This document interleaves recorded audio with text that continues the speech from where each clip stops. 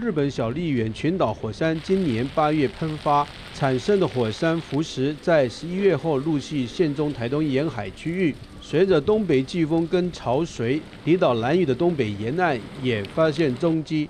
主任表示，浮石可以影响出海钓鱼的航道，变成有时候我们做渔民的后。外海全部都一大堆，必须绕过青浮石后来钓鱼。因为只要我们乡民后，如果说经过青浮石的话，造成引擎后坏掉损失后，变成我们乡民后一大的最大的损失就在这里。另外，兰屿东北沿岸潮间带跟部落滩头都可以发现日本火山浮石，虽然塑料面积区域涵盖不大，但主人担心潮间带生物遭到破坏。